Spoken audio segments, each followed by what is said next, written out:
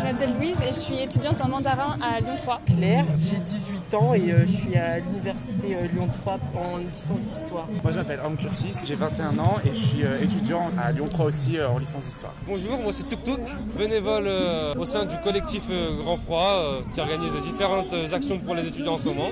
c'est pas toujours facile, surtout d'un point de vue alimentaire parce que comme on peut moins aller au crous, aller aux rues, etc., ça fait beaucoup plus de courses, beaucoup plus d'achats alimentaires et le budget ne suit pas toujours. Je viens de loin et euh, arriver ici, euh, c'est un petit peu compliqué vu qu'on ne peut pas sortir. Euh, on est un peu seul. Heureusement qu'on est dans la même résidence, qu'on s'est rencontrés parce que sinon, je pense que être dans 10 mètres carrés tout le temps, c'est difficile. Je ne m'attendais pas s'il y a le Covid.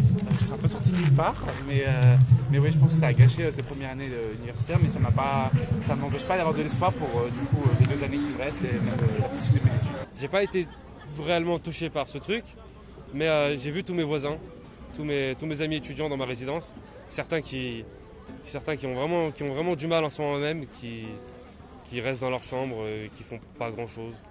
Entre, étudiants et même dans la population générale, il y a cette, euh, inquiétude vis-à-vis des étudiants, mais dans les hautes sphères, euh, je pense notamment à la ministre de l'Éducation supérieure, non, personnellement, moi je me sens pas reconnu comme problème en fait. Que, voilà, je sais qu'il y a un problème à l'université, mais je ne pense pas que la ministre s'en rende compte c'est bien dommage. Oui, c'est euh, agréable, on s'en sort et euh, on voit d'autres personnes, même si euh, avec une autre amie on se voit tout le temps tous les trois, mais de voir d'autres personnes aussi, ça fait du bien.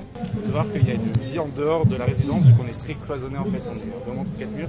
De voir qu'il y a vraiment une, vie en dehors, c'est agréable. Euh, moi j'habite en résidence Crous, du coup je suis au Crous de, euh, des Girondins à Jean Jaurès, et c'est vrai qu'il n'y a pas d'événements comme ça, donc on rencontre rarement ses voisins, on voit rarement des gens. Et euh, là, de voir bah, d'autres personnes qui font la queue, en vrai, ça fait plaisir. on se rend compte qu'on n'est pas tout seul et qu'il y a, a d'autres étudiants